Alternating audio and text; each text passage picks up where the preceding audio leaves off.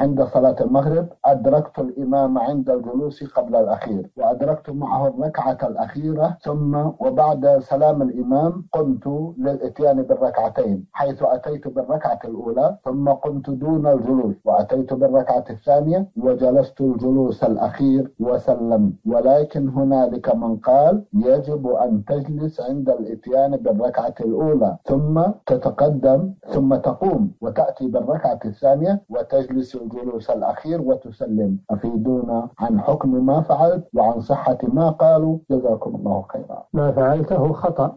قد تركت التشهد الأول.